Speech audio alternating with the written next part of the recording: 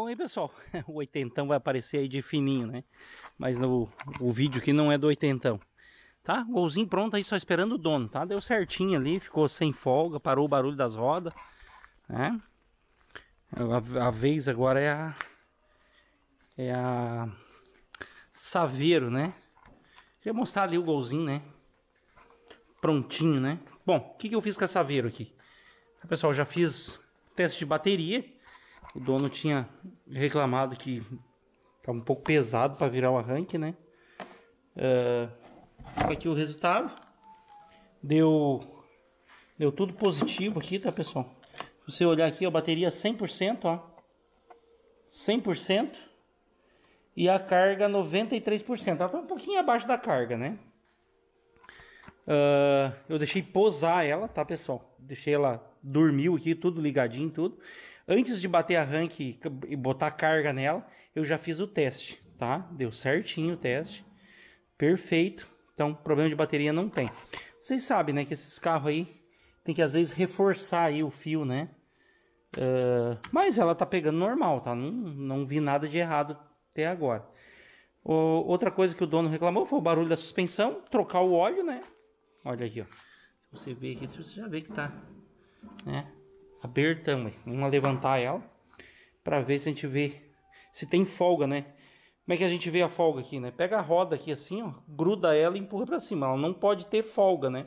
Ela tem que ficar sólido, né? Sem folga. A gente vai fazer o teste aí. Eu já dei uma voltinha com ela agora. E realmente tem barulho na, na, na, na suspensão. E alguma coisinha tem tá batendo.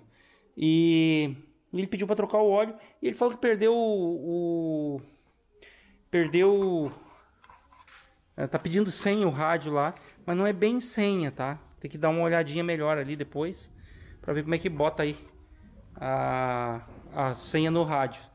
Dizer que no posto de gasolina lá o frentista chaveou o carro. Se chaveou sozinho o carro lá, não sei o que, que ele fez lá e deu treta, né? Vamos dizer assim. Então, a gente vai ver se consegue fazer ele funcionar ali o rádio. Se não conseguir, tem que levar numa pessoa que mexe com rádio, né? A gente não não mexe. Mas ele se lembrou de falar isso ali porque uma vez perdeu a, a senha, né? E a gente identificou a senha e a gente deixou a senha desse rádio guardado aqui no computador, né? Pra gente, se um dia tu tirar a bateria fora, uh, a gente tem a senha para repor no rádio. Uh, e também foi um, o teste de bateria foi ver se a bateria não está muito baixa, né? Quando bate arranque aí, se cai abaixo dos 9 volts aí, capaz de perder a senha do rádio também, né? Ou pedir a senha do rádio, né? Porque ele tipo desliga e volta, né? Então tá aí, vou levantar ela, botar no elevador ali. Já expliquei aí o que, que vai ser feito. Pessoal, tá suja pra caramba, né? Olha aí as folhas aí. Aí, dá pra plantar um pé de alface aqui, né? Aí, muita folha. Depois eu vou passar um vento ali pra... Vai ter que fazer isso lá na rua, né? Que dentro não dá pra fazer. A gente vai fazer o que dá pra fazer aqui, depois a gente vai ver o que que se faz. Uh, já identifiquei o, o causador do barulho. Tá, a bieleta aqui. Com uma mão só não consigo fazer o... Mas aí vocês já vão ver que ela tá... Tá frouxa aí a ponta, ó. Ó, como é que ela tem que ser. Tá? Não pode fazer aquilo lá. E se pegar com a mão ali faz barulho. Só com uma mão só não consigo. Tá? Uma já coloquei no lugar aqui. Tá aí, ó, novinha aqui. Ah, e a outra eu vou começar a colocar agora. O óleo a gente já drenou, né? Já tirou o filtro. Depois eu vou levantar o carro para cima, né? Para levantar tem que ser para cima. Tá? A, a barra axial que nós estamos barra axial não, a bieleta que nós estamos colocando é Axion, tá? Monroy Axion. Vou abrir o outro aqui. Já vai colocar. A Rosa tá vendo o óleo lá. O filtro ela já passou para mim aqui para nós botar ali. E tu vê, uh, ah, para ver como, como, como, a gente vai, se a gente for no achômetro, a gente faz errado, né? Eu falei do, do coxinho lá em cima, né? Ele ainda não tá com folga. Como técnico, tá, pessoal? Teria que, tá? Teria que trocar esses coxinhos, tá? Mas a gente vai passar pro dono, vai mostrar para ele ali a frestinha e jogar limpo com ele, né? Dizer para ele, ó, ainda ele não está fazendo barulho, mas é o sinal ali que tá abrindo o bico, bicho. Tá? Deveria trocar? Deveria. Mas aí quem vai falar para nós vai ser o dono do veículo, tá? Uh, isso aí tem que tirar os amortecedores fora, né, para fazer uh, para fazer a substituição, tá? Quando vê já abre, já tem que trocar amortecedor, tem que trocar batente, fazer uma revisão completa. Então a gente não sabe ainda se o cliente quer fazer isso aí tudo. É uma caminhonete que ele leva sempre conservada, essa caminhonete nunca faz barulho de suspensão. Mas ele vem trazendo sempre aos poucos para fazer. A gente tem que respeitar isso aí do, do cliente, né? Não adianta botar o pavor nele agora, né?